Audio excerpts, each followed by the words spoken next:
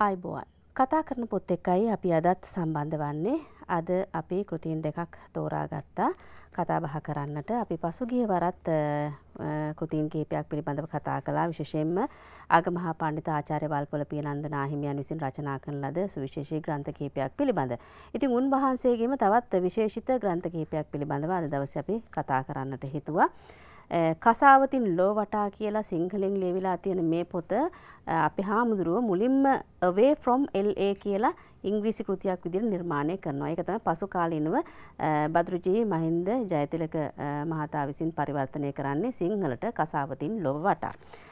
ඒ එක්කම this we heard uh, recollection of the life of Buddha මේ ඉංග්‍රීසි ග්‍රන්ථය මේකත් සිංහලින් පරිවර්තනය වෙලා තියෙනවා මහා රහතුන් වදාළ බුද්ධ චරිතය කියන සිංහල ග්‍රන්ථය. ඉතින් මේ කෘතීන් දෙක පිළිබඳව අද දවසේදී කතා බහ කරන්නට අපි ආරාධනා කළා අපේ හාමුදුරුවන්ට අගමහා පණ්ඩිත ආචාර්ය වල්පොල පියනන්ද නාහිමියන්ට අපේ හාමුදුරුවනේ අවසරයි. දැන් මේ away from LA දැන් ඔබ වහන්සේ ලියනවා ග්‍රන්ථ තුනක්. ඒක තුන් ඇඳතු කතාවක් විදිහට වගේ තමයි එක පැත්තකින් යන්නේ. මේක අවසාන ග්‍රන්ථය තමයි away from LA මම මෙන්න මේ කෘතිය පිළිබඳව කතා කරන්නට කැමති මේක පසු කාලීනව මේ සිංහලනුත් කසාවතින් ලෝවටා කියලා නිර්මාණය වෙනවා. භද්‍රජී මහින්ද ජයතිලක මහතා විසින් පරිවර්තනය වෙනවා. මම එවේ ප්‍රම් එල්ලේ කෙනෙක් අදහස් කරේ ලොස් ඇන්ජිලිස්සෝට එල්ලේ කියලා කියන්නේ මම විවිධ රටවලට මම යනවා ධර්ම දේශනා කරන්නට ඊළඟට භාවනාව ගන්නන්නට යනවා. ඒ රටවලට ගියාම බොහෝ විට මගේ ජීවිතේ වැඩියම කාලේ ගත කරන්න ඇත්තසෙන් ඇමරිකාව වුණත් ලොස් ඇන්ජලිස්ට වුණත් ඒකට කියන්නේ ඒගොල්ලෝ අපි එහෙන් කියන්නේ අපි කවුන්සිලින් කරනවා කියලා ඒකේ කායට ඒගොල්ලන්ට උපදෙස් දීම උපදේශකෙක් හැටියට මම බොහොම ප්‍රසිද්ධ විශේෂයෙන්ම තරුණ ළමයින්ගේ ප්‍රශ්න ඒගොල්ල මට ඇල්ල නිතරම කියනවා මං ඒගොල්ලට ඇහුම්කන් දීලා තාම ධර්මානුකූලව බුද්ධාගමේ කියන්නේ මහා පුදුම දෙයක්. බුද්ධාගමේ ඕනෑම ප්‍රශ්නයකට උත්තරයක් තියෙනවා. ඉතින් මට ඔළුවට එනවන්න බුදුහාරු අස්වල් තැන මේ විදියට කියලා තියෙනවා කියලා එක මම ලස්සනට ඒ අයට කියා දෙනවා. ඒකයි මං කරන්න. මේ කසාවත්තින් ලෝවටා කියනෙක් පොතින් අදහස් කරන්නේ අපේ බද්‍රජීක පරිවර්තනය කළේ. විවිධ රටෝලට මම ඊශ්‍රායිලයට ගියා. ඊශ්‍රායිලයේදී ප්‍රශ්නය භාවනව ගන්නලා ගොඩක් වෙලාදි සාකච්ඡා කිරීමේදී සිමොන් පැරිස් කියලා හිටපු ජනාපත්තුමා බොම ශ්‍රේෂ්ඨ උතුමෙක්හි ඊශ්‍රාලේ ය හොඳ බෞද්ධයෙක්. ඉතිං එයාගේ ප්‍රකාශන වායකුත් ඒවගේම හිටපු ජනාධිපතිතුමා කෙනෙක් අගමැත්තුමා කෙනෙක්ගේ දියණයක් එක්ක කරපු සාකච්ඡාවකුත් අතරතුර සාමය මොක බුද්ධාගමයෙන් පෙන්නුම් කරන සාමය ලෝකයට කොහොමද ප්‍රයෝජන ගන්න කියන එකයි එහින් ඉදිරිපත් කරලා තියෙන්නේ. ඊළඟට එකම මම පැහැදිලි කරනවා ඇයි ජුවිස් කියලා කියන්නේ යුදෙව්වෝ බුද්ධාගමට මෙච්චර ආදරයයි යුදවන් වැඩදින බුද්ධාගමට එන්නේ මොකද කියන කතාව පෙන්නුම් කළ තියෙනවා. ඊළඟදී විවාහය ගැන මට හිතන ම ලංකාවෙත්තේ ලෙඩේ බෝවෙන වගේ මට පේනවා මං ඔය සංචාරයන් රටවල විශේෂයෙන් තායිලන්තය තායිවානය මේ වගේ රටවල ගෑනු ළමයි වැඩදින විවාහ වෙන්න කැමති නෑ. ඒගොල්ලා ඇමරිකාවෙත් එහෙමයි. වැඩදින විවාහ වෙනකම් දැන් leave me alone. අපිට මේ පැත්තකට වල ඉන්න දෙන්න කියලා. ඉතින් අම්මලා තාත්තලා බොහොම මේකට දුක් වෙනවා වේදනාව වෙනවා.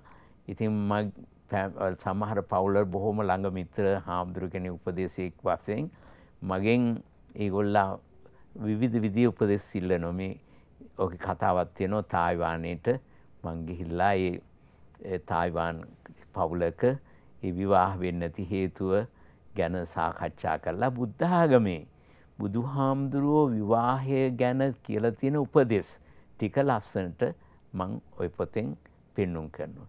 ඊළඟට ජපානයේදී මට ජපන් ළමෙක් ජපානයේදී සුවසයිඩ් කරගන්න ගිය ළමෙක් ඒකෙන් මිදිලා එකට යහා ඇයි එහෙම එන්න හේතු වුණේ කියලා ඒ තොරතුරු සාකච්ඡා කළා. ඒකින් මිදන්නට යාට උපදෙස් බුද්ධාගමේ සුවසයිට් කිරීම පිළිබඳව සිවිදිවි නසා ගැනීම පිළිබඳව බෞද්ධ මතය ලස්සන්ට මං ඉදිරිපත් කළ තියෙන බුදු හාමුදුර කොයිතරං එය නරක වැඩක්ද පහත් වැඩක්ද අපායගාමි වෙන වැඩක්ද කියන එක පැහැදිලි කරලා තියෙනවා. ඒ වගේ විවිධ රටවල එක එක ප්‍රශ්න අද සමාජයේ තියෙන ප්‍රශ්නය මම මතු කරලා පෙන්වන්නේ. ඒ දැන් තව සාකච්ඡාවකදී පවුල් අවුල්ලෝට හේතුවක් තමයි මේ බොහෝ විට කතා කරන්න දන්නේ නැති එක. මහත්තයයි නෝනයි අතර තියෙන ගැටුම් වලට බොහොම හේතුව. ඉතින් නිතරම අතීතය ඇදගෙන කෑ ගහනවා, බැනනවා, කෝලහල කරනවා. ඉතින් ඕවට බුදුහාමුදුරුවෝ කොයි විදිහටද උපදෙස් දීලා තියෙන්නේ කියලා කොහොමද සමගි සම්පන්න සතුටින් ජීවත් වෙන පවුලක් ඇති කරගත හැක්කේ කෙසේද කියන එක බොහොම මේ උපමා කතා යොදමින් ඊළඟට හිනා වෙන්නට පුළුවන් කතා ඉදිරිපත් කරමින් මං ඉදිරිපත් කරලා තියෙන්නේ ඔය ඒ පොතේ විදියටයි දිගින් දිගට විස්තර තියෙන්නේ. හොඳ අපේ හාමුදුරුවනේ දැන් මේ හම්බෙන චරිත එක්ක ඔබ වහන්සේට අපේ ලංකාවේ තත්ත්වය ගැන කොයි විදිහටද දැනෙන්නේ? කියන්නේ දැන් අපි අපි අතීතයත් එක්ක ගත්තාම දැන් අපේ කටින්ම කියවෙනවා අනේ ඉස්සර වගේ නෙමෙයි අලුත් පරම්පරාව කියලා. අවාසනාවට අපේ වර්තමාන පරම්පරාව කියවන බවක් පේන්නේ නැහැ. ඒකයි තියෙන එකම වේදනාව. දැන් මගේ ජීවිතේ මං කොයි ලෝකේ කොහේ ගියත් මං හරි ආසාවෙන් එකතු කරන දෙයක් තමයි මගේ ඒ පුස්තකාලයක් තියෙන විශාල වැඩියම තියෙන්නේ ජනකතා ඔය සෙන් ස්ටෝරී සෙන් කතා ඊළඟට බෞද්ධ පතපොතේ තියෙන කතා කොහේ හරි පෝක්ස්ටේල් හරි පෙරබල් සරි ඉන්දියන් පෙරබල් සරි ලෝකෙ කොයි ලෝකයත් මං එකතු කරනවා කියවනවා. ඉතින් ඒවා හරි ප්‍රයෝජනවත් වෙනවා බණ කියනකොටත් හරි උපමා කතා හරි ප්‍රයෝජනවත් වෙනවා. ලංකාවේ අවාසනාවට ගිහි පැවිදි දෙගොල්ලම වර්තමාන යුගයේදී කියවන බව නම් හරි අඩුයි. දැන් පොතපත හරියට මෙහින් වේගෙන් විශේෂයෙන් බෞද්ධ පොතපත ඉස්සරට වඩා බොහොම පරිවර්තනය වෙනවා. ඊළඟට ලියවෙනවා. ඊළඟට ඉන්ටර්නෙට් එකට ගියත් ඕන තරම් ගන්න පුළුවන්. නමුත් අපි කියවන බව අඩුයි. කීමෙන් තමයි අපේ දැනුම වගේම හොඳ ශික්ෂාකාමිත්වයක් අපට ඇතිවෙන්නේ. ඒක තියුණු කරගන්න ඕනම් හරිම අගේ. හොඳයි බොහෝම මේ හොඳ ආදර්ශයක් මං හිතන්නේ දැන් අපේ හාමුදුරුවෝ දකින දේවල් අපේ හාමුදුරුවෝ අත්විඳින දේවල් තමයි අපිට කියන්නේ. ඉතින් අපේ ජීවිතේ සැලසුම් කරගන්න අපේ ජීවිතේ වඩාත් යහපත් කරන්න ගුණාත්මක භාවය වැඩි කරගන්න මේ කරුණු හුඟක් ඉවහල් වෙනවා. මතන සාහිත්‍ය පරිශීලනය කරන මිනිස්සු අනිවාර්යයෙන්ම කලාව පරිශීලනය කරන මිනිස්සු අනිවාර්යයෙන්ම පිරිපුන් මිනිස්සෙක් වෙනවා අපේ හාමුදුරුවනේ. ඔය ටික නැති තැන තමයි දැන් මේ අධර්මයේ රජයන එහෙම නැත්නම් මිනිසු සතුන් වගේ හැසිරෙන තව කෙනෙකුට උදව් කරන්න කැමති නොවන. ඉතින් මෙවැනි මෙවැනි මානසික තත්ත්වයන් බොහෝ විට ඇති වෙන්නේ සමාජයක.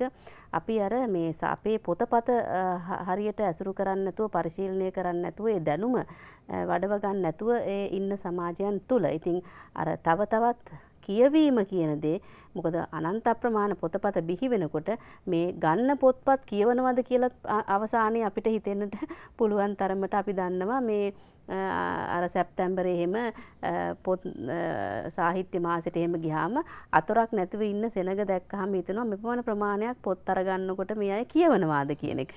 ඉතින් ඔතන තමයි ගැටලුව තියෙන්නේ. හොඳයි. කෙසේ වෙතත් අපේ හාමුදුරුවන්ගේ තවත් සුවිශේෂී කෘතියක් තියෙනවා. ඉතින් ඒ කෘතිය පිළිබඳව අපි කතා කරනවා කෙටි විරාමයක් අරගෙන.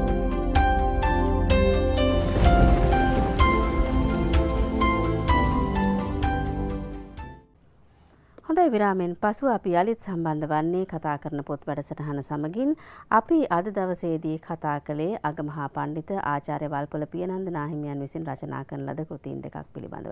දැන් අපි විරාමෙන් පසුව අපිට බොහොම වටිනා කියන ග්‍රන්ථයක් මගේ අතේ තියෙනවා. මේකේ සිංහල පරිවර්තනයකුත් තියෙනවා.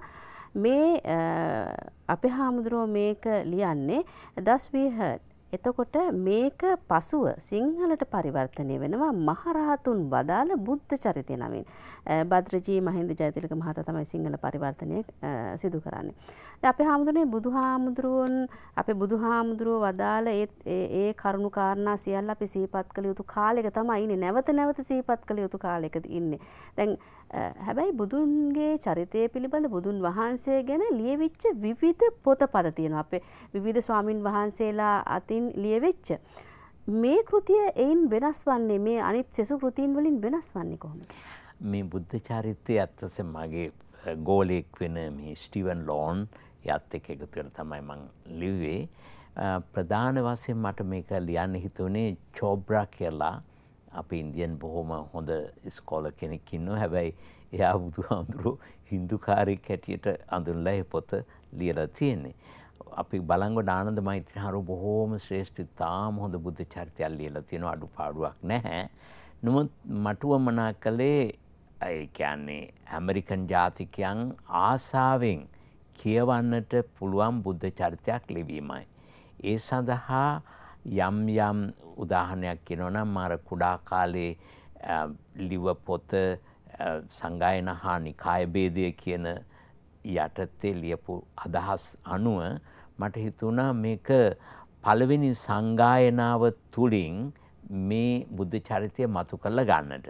ඒ සඳහා අපේ පළවෙනි සංගායනට සම්බන්ධ වෙන ආනන්ද හාමුදුරුවෝ සූත්‍ර දේශනාව කරනවා. ඉන් අනතුරුව මහා කාසපහාරුව ප්‍රශ්න කරනවා.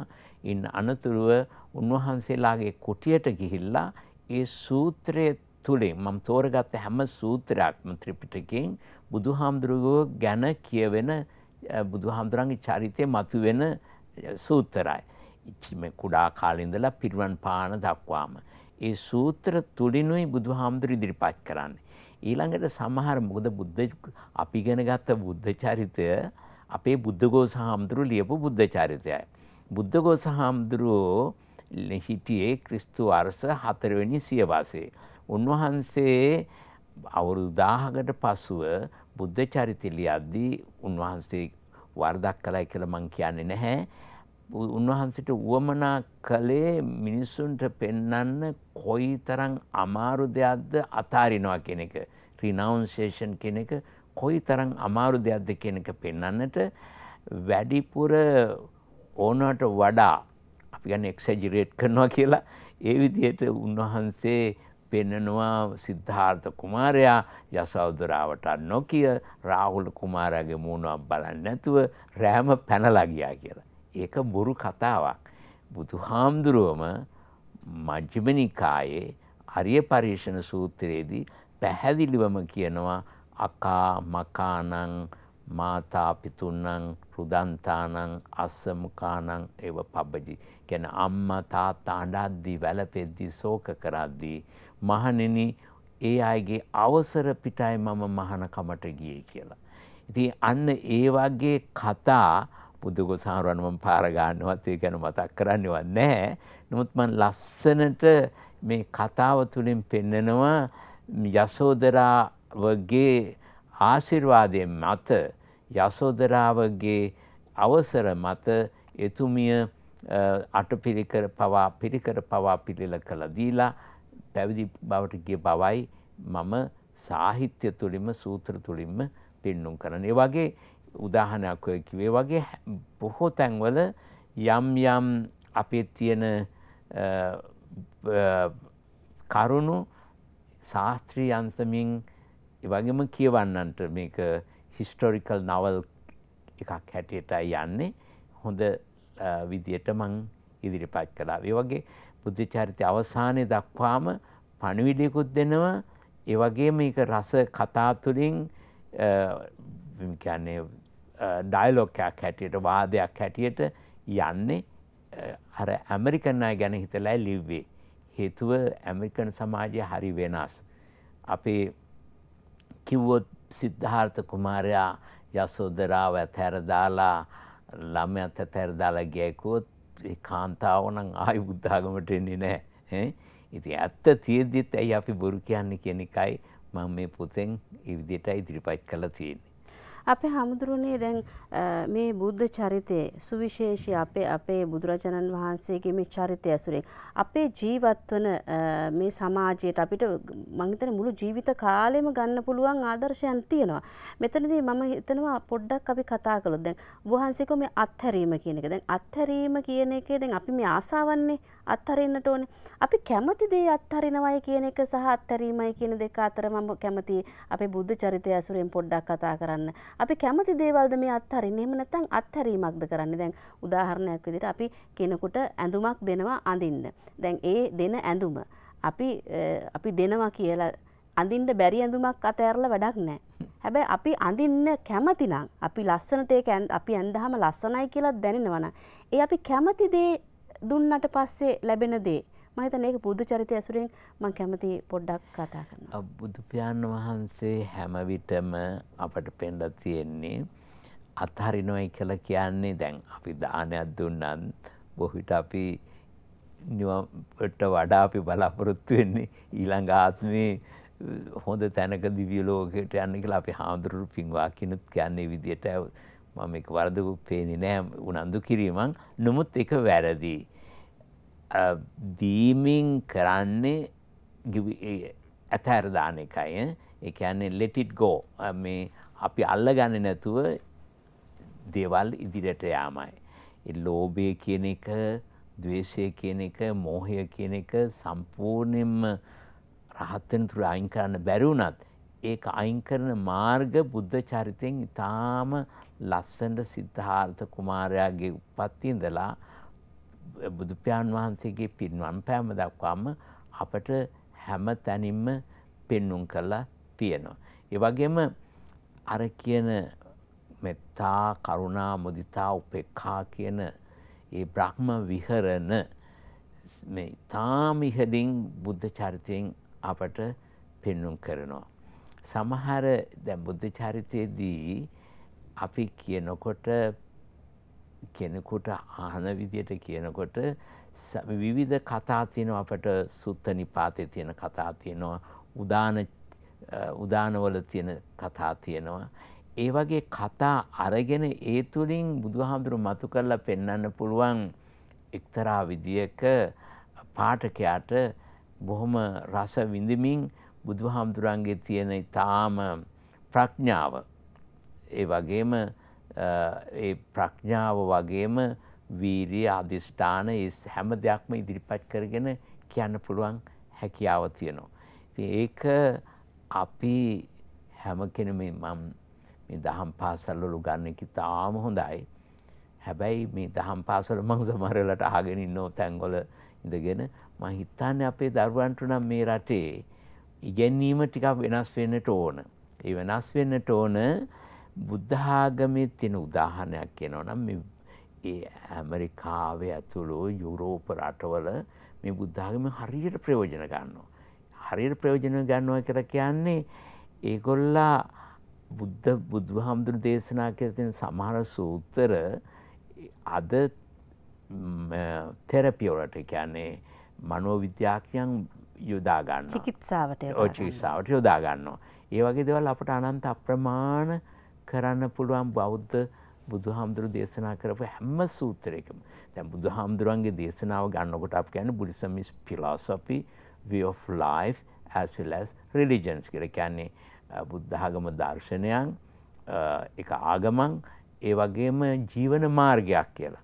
ඉතින් ඇමරිකන් ජාතිකයන් බොහොම ආසාාවෙන් බුද්ධාගම ඉගෙන ගන්නේ ඒගොල්ල ජීවිතය සකස් කරගන්න තියෙන මාර්ගයක් නිසාත් ඒ වගේම බුද්ධාගම කෙනෙක දර්ශනයන් නිසාත්. ඒක බුද්ධ චරිතයෙන් අපට මතු කල්ලා ගන්න පුළුවන්. ඒකට හොඳ අනන්ත ප්‍රමාණ කතා තියෙනවා. හොඳයි. අපි අපේ හාමුදුරුවන් නැවත වතාවක් දැන් මොකද හුඟක් කාර්ය බහුල තත්වයක ඉන්නේ හුඟක් වැඩ අධික තත්වයක ඉන්නේ සහ තවත් රට රටවල් වලට උන්වහන්සේගේ මේ ධර්ම ප්‍රචාරක කටයුතු භාවනා කටයුතු මේවා ව්‍යාප්ත කරන්න තිබෙනවා. ඒ වගේම උන්වහන්සේ නැවත ඇමරිකාවටත් යන්න තිබෙනවා. හැබැයි ශ්‍රී ලංකාවට නැවත වැඩි අවස්ථාවකදී මම හිතනවා අපිට සම්බන්ධ කරගන්නට හැකියාවක් ලැබෙයි අපේ වැඩසටහනට උන්වහන්සේගේ මේ දැනුමත් එක්ක අපේ ප්‍රේක්ෂකයන් දැනුවත් කිරීම සඳහා අපි හාමුදුරුවෝ හාමුදුරනේ බොහොම පින් අද දවසේ අපේ මේ වැඩසටහන සමග සම්බන්ධ වුණාට අග මහා පණ්ඩිත ආචාර්ය වල්පොල පියනන්ද නාහිමියන්ගේ නිර්මාණ කිහිපයක් පිළිබඳවයි අපි අද දවසේදීත් කතා කළේ. ඉතින් උන්වහන්සේට අපේ වැඩසටහනින් සමුදෙන ගමන්ම අපිත් කතා කරන පොත් වැඩසටහනින් අදට සමගෙන යනවා සුබ දවසක්.